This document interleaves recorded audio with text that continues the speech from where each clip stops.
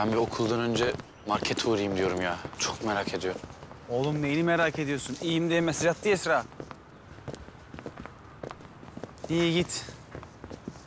Bize okul yolları azap oldu zaten. Ne oldu?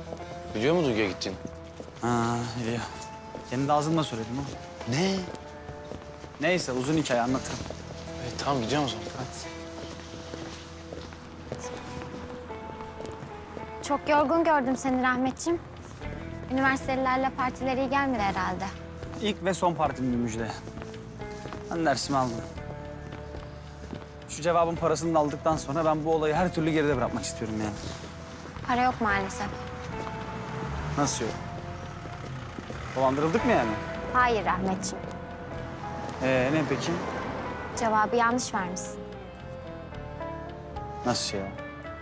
E o kadar da zeki değilmişsin demek ki. Gerçi onu dün gece gördük ama.